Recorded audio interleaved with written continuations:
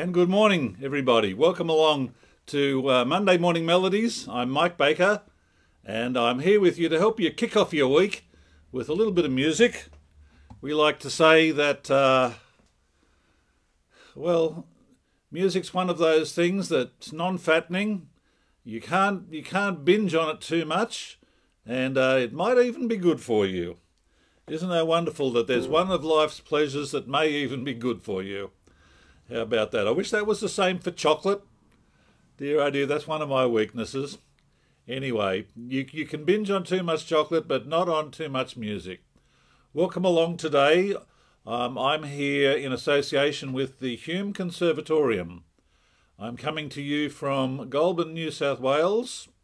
And when I look out my window today on the 19th of April, I see a beautiful blue sky and a beautiful sunny day.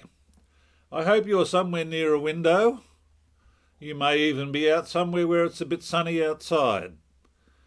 So uh, that would be a nice outcome, wouldn't it, if you could uh, be taking in a bit of vitamin D this morning.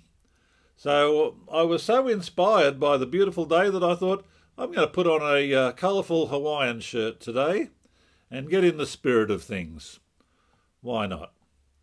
So we welcome you along. We welcome along all our friends out there in the care community.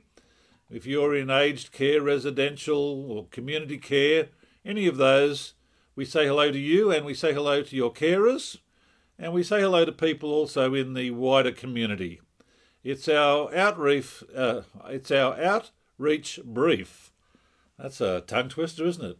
It's the Hume Conservatorium's brief to reach out to the community, and this is one of the ways that we do it through this little Facebook stream that happens every Monday morning. I'm going to start today with a beautiful melody inspired by the the colourful or the um, the, the wonderful start to the day we've had. I'm just looking out my window here. We're halfway through autumn. The 19th of April it is today. And we're halfway through. The cold mornings have started, haven't they? You've probably noticed them. And the days have got a little bit shorter because we've left um, daylight saving behind. But the good thing about our Monday morning melodies is that uh, it doesn't get shorter. We're still going to be with you for 60 minutes. And the tune I'd like to start with today is um, from a suite of music called the Peer Gynt Suite. A, a Norwegian fellow called Edvard Grieg wrote this. And um, you may know the orchestral version of it. I'm just going to put an outline of the melody together for you. But it's a lovely melody, and it's got a, a, a melody that moves in three. We talked about that before, how the good thing about melodies that move in three and waltzes is that they, they bring you along with them. The rhythm takes you along with it. And in this case, let's see how we go. If you've got something that moves, Maybe your shoulders are moving. Maybe you've got some movement in the head and the neck. Maybe you're even a little bit mobile today, shuffling around, or you might you might be um, doing some chores at home. Here's something to get you moving along in three. Edvard Grieg's Morning. Goes a little bit like this.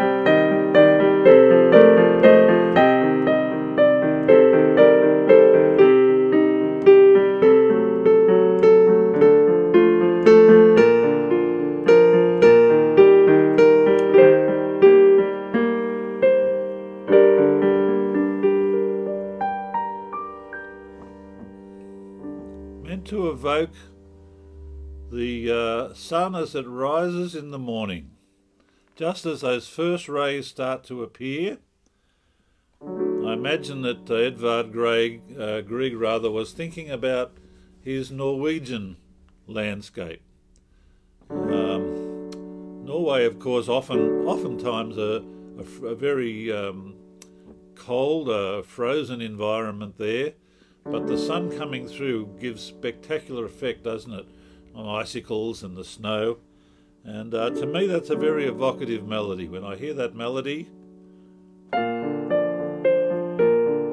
it's very easy for me to imagine the sun coming up on a frosty, cold morning and sparkling in the um, icicles that might be hanging from the trees. I can see that very easily. Okay. Mr. Grieg can go off to the side. So while we're in a contemplative mood on a beautiful Monday morning, here's a song. I'll sing this one for you. It comes from a fellow called Otis Redding.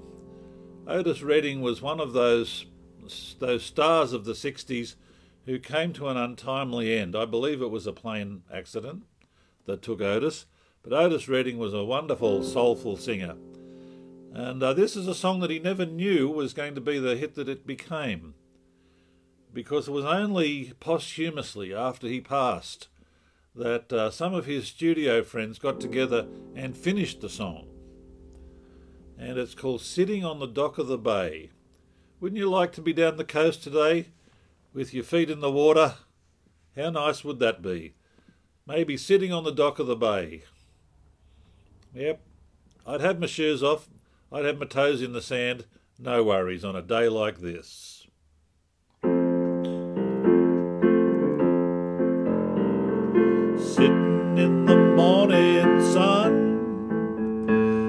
Be sitting when the evening comes, watching the ships roll in. I'll watch them roll away again.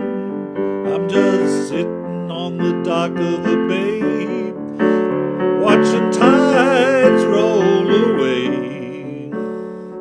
I'm sitting on the dock of the bay, wasting time.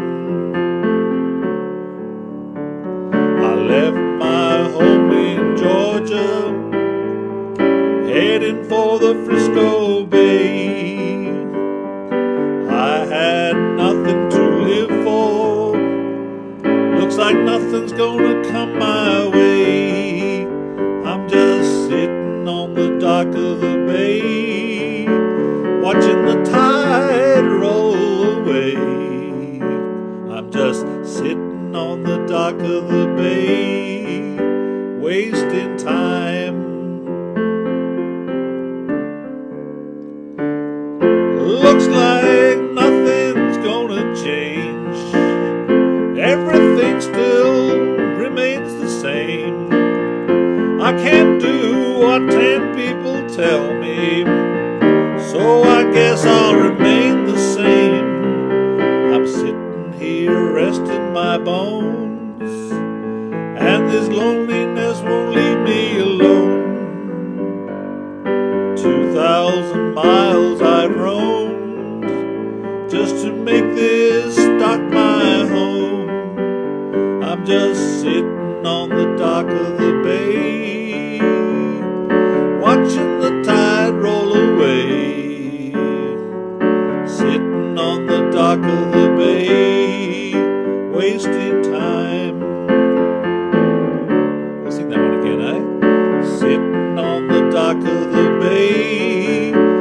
watching the tide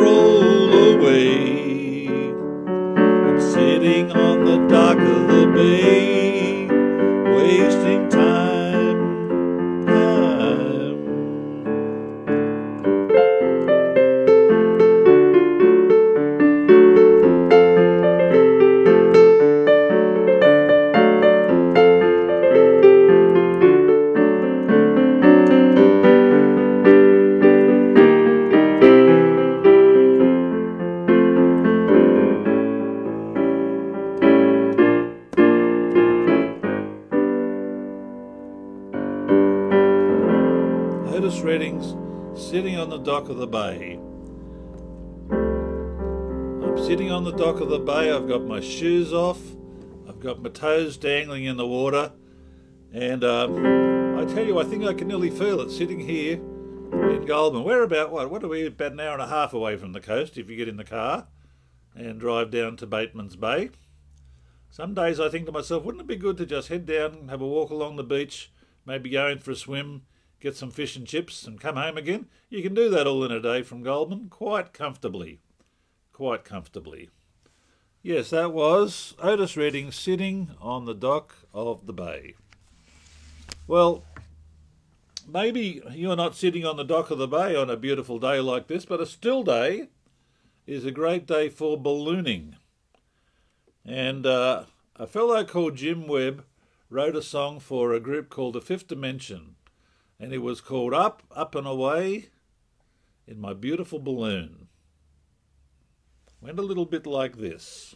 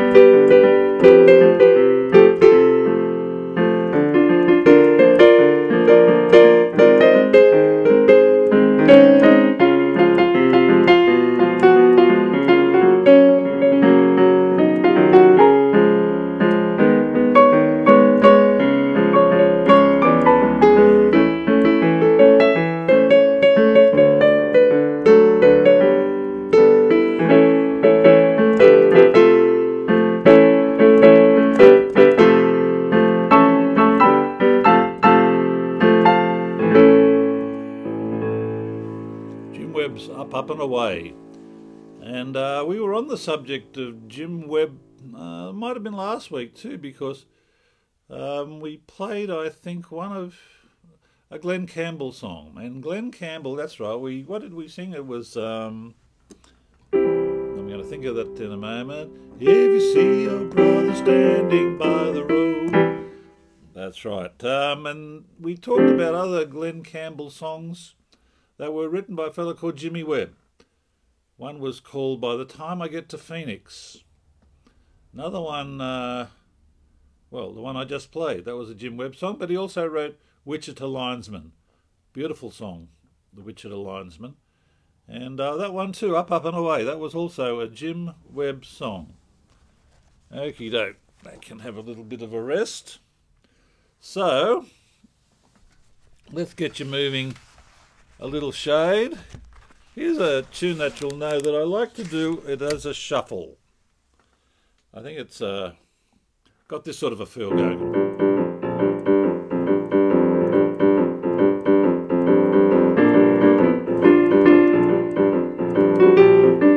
Yeah, what's happened here? I'm down too low there, am I? Maybe I should play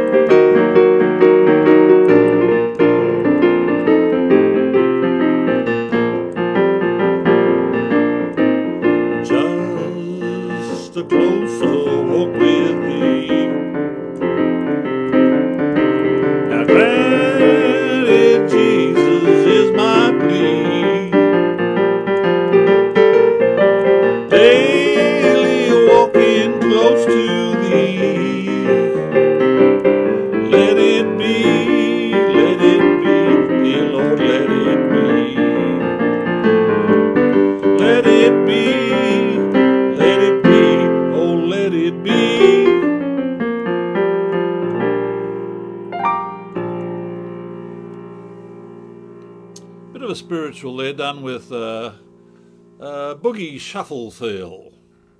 I hope that was helpful to get you moving. All right. I'm just going to listen while we're sitting on the dock of the bay and while we're feeling all a little bit uh, warmed by the sun. What am I looking for here? I'm looking for, um, that's what I'm looking for. No, not that one, but this one. There's a little bit of an island feel going on here.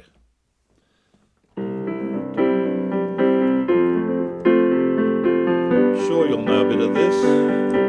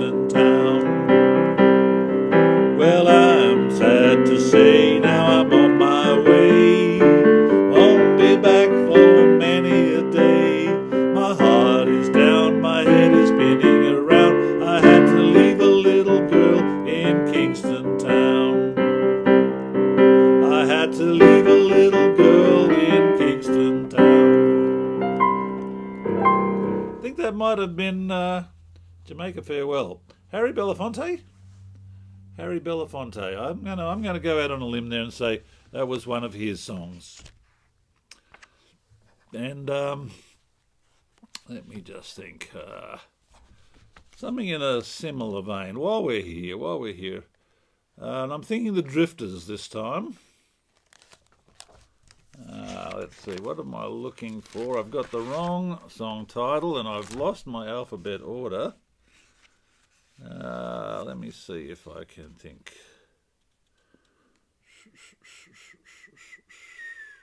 No, it's gone. Doesn't matter. It'll come back to me in a minute. The song that I'm thinking of. It's in a different book, that's why. Anyway, let's um let's keep shuffling on here. How about we have a just a bit of a fun song? I like nonsense songs. Songs that um, you scratch your head and you think, what was that about? Remember uh, Maresy Dotes and Dozy Dotes and Little Lambsy Divey, a Kiddly Divey Do, Wouldn't You? And uh, even silly songs. Lily the Pink, the Pink, the Pink. We, we might have a week of silly songs, I think. Um, but here's a song that's a little bit on the nonsense side. It's about a boy and a bear by a guy called Randy Newman. Randy Newman's an interesting character. He's been writing songs and having hits since the late 60s and writing songs for other people too. Then he graduated into doing film music. And that was not such a unusual move for Randy because he had a couple of uncles and a cousin, I think a cousin, who were very well established in the um, art of uh, writing um, music for movies. Sometimes you'll watch an old black and white movie and you'll see Alfred Newman or you'll see Ernest Newman um, as the composer. In fact, there are hundreds and hundreds of them. And they're Randy's uncles. So it must be something in the lineage. Must be something in the blood, I'm thinking, because he uh, he put his hand to film score composing, and lo and behold, didn't he strike gold? Uh, Randy Newman has written the music for the Toy Story franchise, and um, quite a lot of those um, animated movies that have been popular over the last twenty or so years, Monsters Inc. and um, he's been a very, very successful one, lots of awards. And this is probably one of the first time, uh, this song that I'm going to play for you wasn't actually hit for Randy. He recorded it, but a fellow in England thought, that's not a bad sort of song, I'm going to record that. and um, his name was Alan Price. And he recorded this song. It's called Simon Smith and the Amazing Dancing Bear. It goes a little bit like this.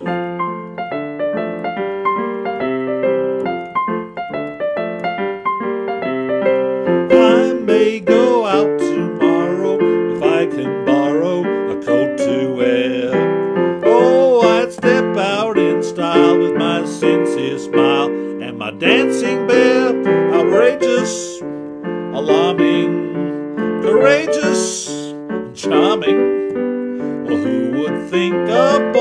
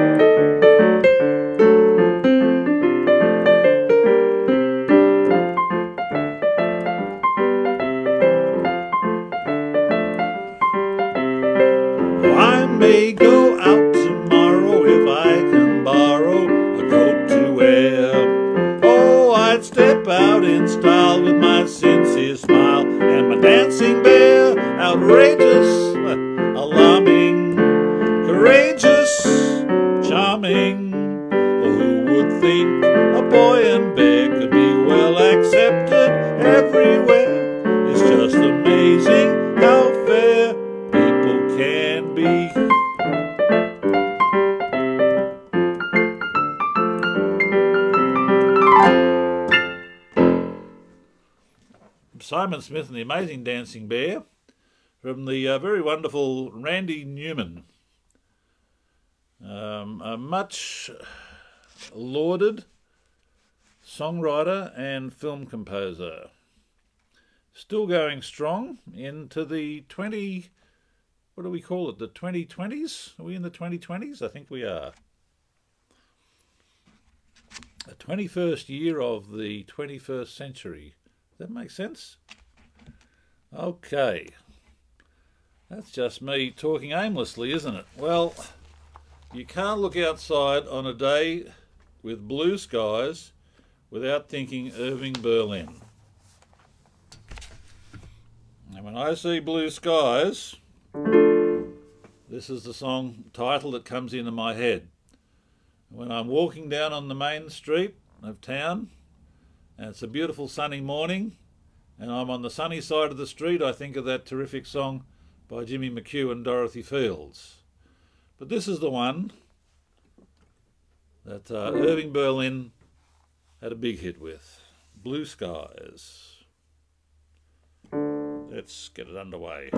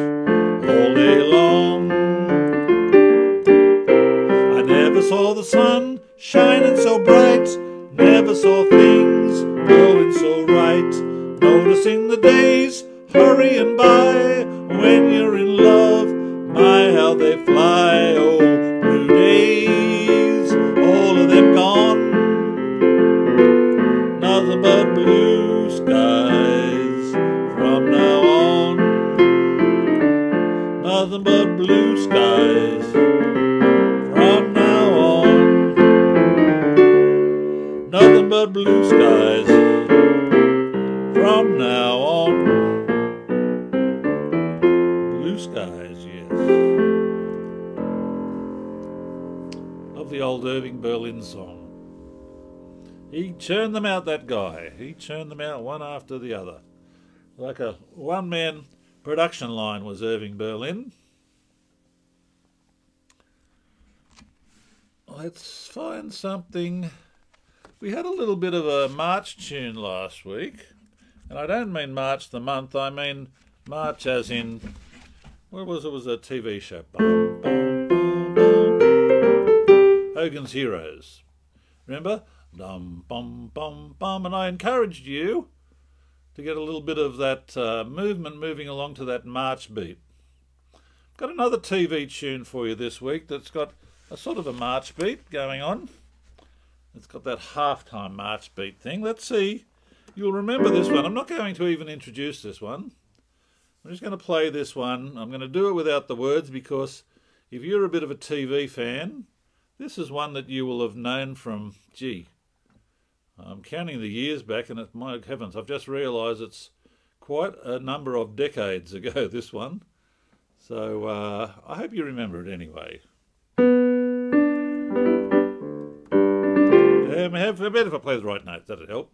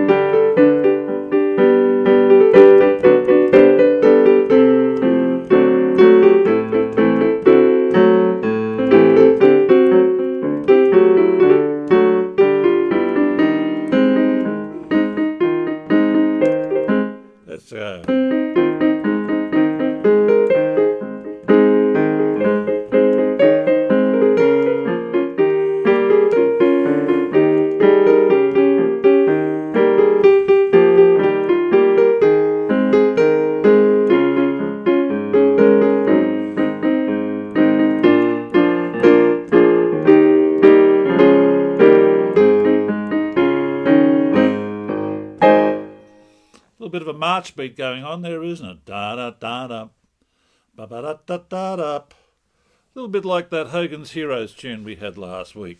That had the uh, marching beat going on. In fact, let's have a little bit of a reprise of that. That's not very far away from me in my book here. I think we can give a little bit of a reprise of that. And the more musically inclined amongst you might also pick that this one, this one does a key change too. So um,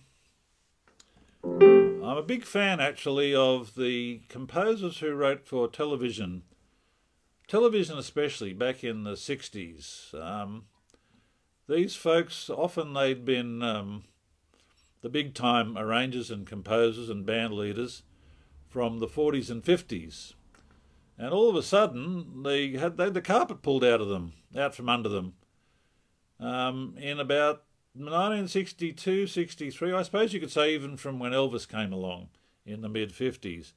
But all of a sudden, people were buying, I'm going to call it guitar driven music.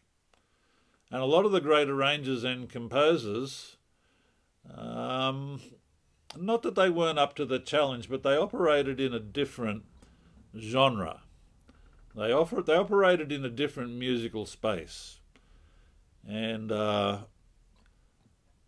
of course, a, a, lot of their work dried up because everybody wanted to go out and buy Beatles records and Elvis Presley records, and everyone wanted to buy a guitar and learn a few chords, and folk music became all the rage, and Bob Dylan popularised, uh, you know, having a guitar and sitting around and learning three or four chords. And uh, to a certain extent, the um, the arrangers, composers, songwriters, band leaders from the 40s and 50s, they were they were kind of left treading water. Uh, but they had one recourse, and that was Hollywood. Hollywood needed people who could write and arrange, and uh, they were skills that the um, the young people with who played, I'm going to call it guitar driven music again, they didn't have the skills to do it. And so you had all those terrific musicians from the 40s and 50s, they moved into television and um, they employed, they used their skills there. Uh, some of that theme music from the 60s is just wonderfully written and arranged. Uh, I could rattle off about 20, 30, 40 tunes, or shows rather now, that have um, wonderful music. Look, even going back to the mid 50s, I remember when um, the Untouchables came out. Do you remember Eliot Ness and the Untouchables? Uh, Perry Mason, the court attorney, and uh, the theme music that was written for those for those shows uh, could only have come from uh, a composer, arranger well versed in the skills of orchestration. I know I'm rambling a bit here, but the point I'm making is that um, I think that the music of these television shows from the 40s, from the 60s especially, is rich with the musical talent of a lot of terrific composers and arrangers. This march tune came from that very, very funny series. We had it last week, but I'm lining it up again because if you're in the mood to do a little bit of marching around, even if you're not mobile, you might be able to get your feet moving. Maybe get the shoulders moving in a bit of a, a march pattern.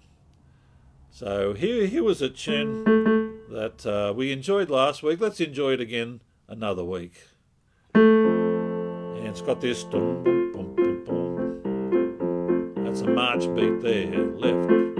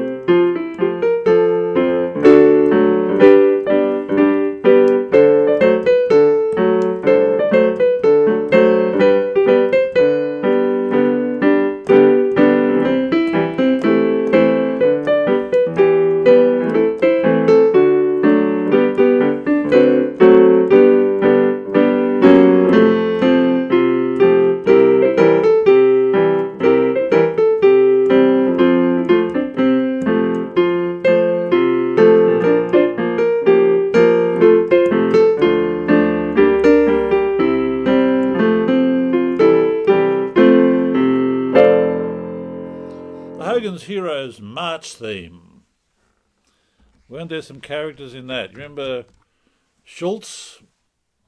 Schultz was the, the, the camp guard who was a little bit slow on the uptake. And they were always pulling the wool over Schultz's eye. And then there was the uh, camp commander, Colonel Klink with the monocle. Uh, very good actors, all these folks. Very good actors.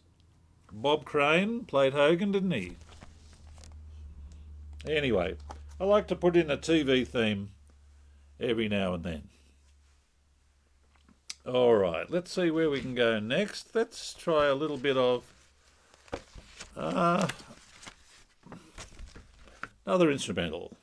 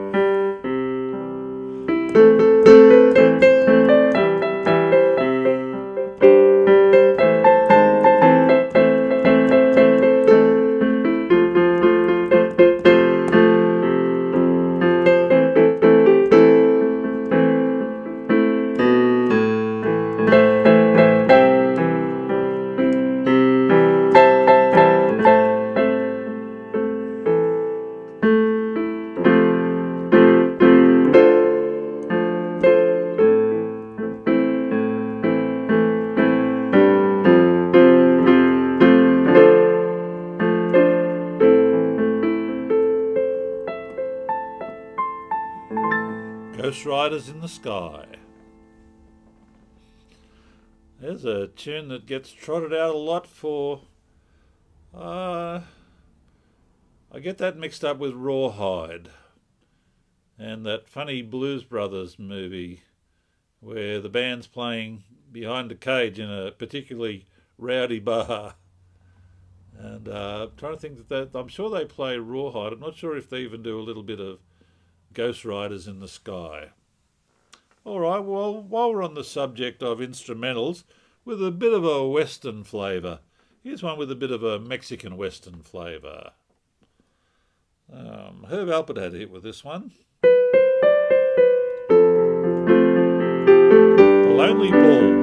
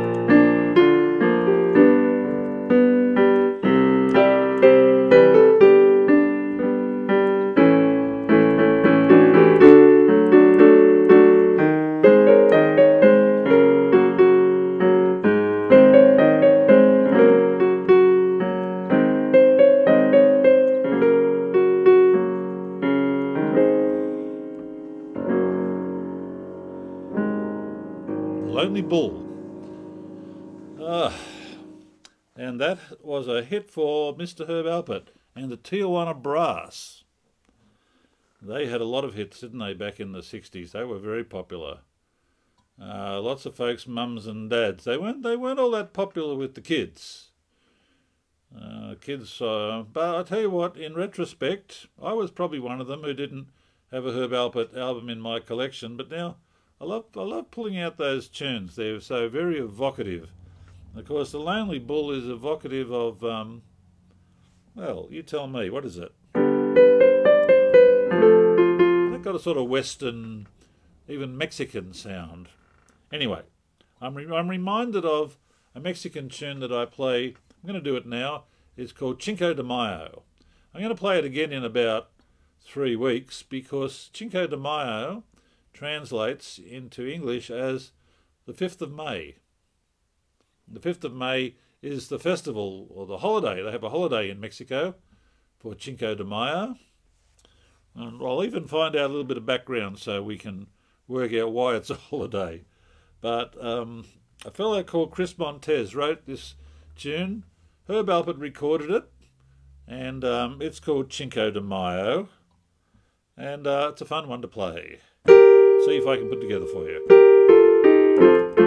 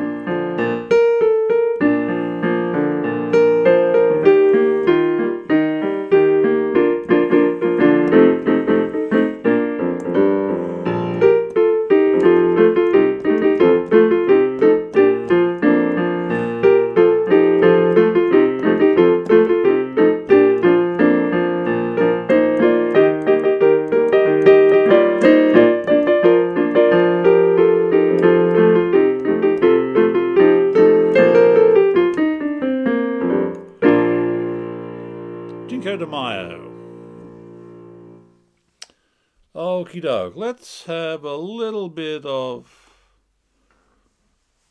Cole Porter. Cole Porter wrote this song, and some 30 years after he wrote it, uh, a fellow from New Zealand had a hit with it, a guy called Gary Shearston. He gave it a little bit more of a, a drivey rock sort of a beat um, than what it originally had, which was a bit of a swing. It's called I Get a Kick Out of You. This is the feel that uh, Gary Shearston gave it.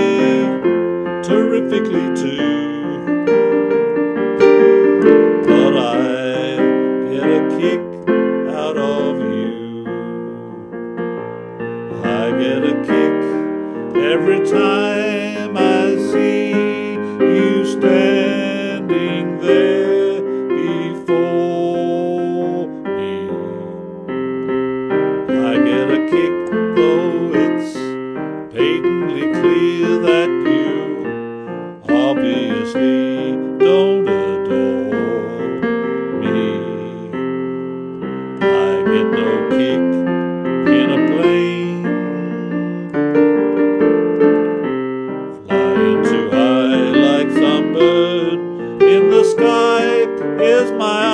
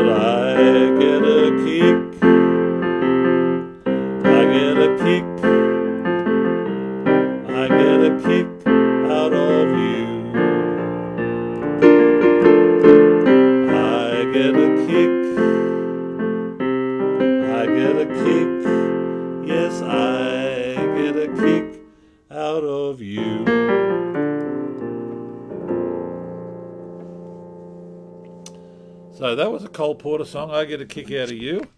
Uh, folks, going to leave you there for another week. Going to go out to the strains of Erroll Garner's Beautiful Misty. Going to wish you a week that's good for you. Maybe a bit more music in that week. Music's good for what ails you, isn't it? Non fattening. Binge on it as much as you want. And it helps us to connect too, doesn't it? We can connect with other people, we can connect with our memories too. So, I'll be here next week to bring you more Monday morning melodies. So, uh, have a good week, and uh, I look forward to seeing you same time, same place next week.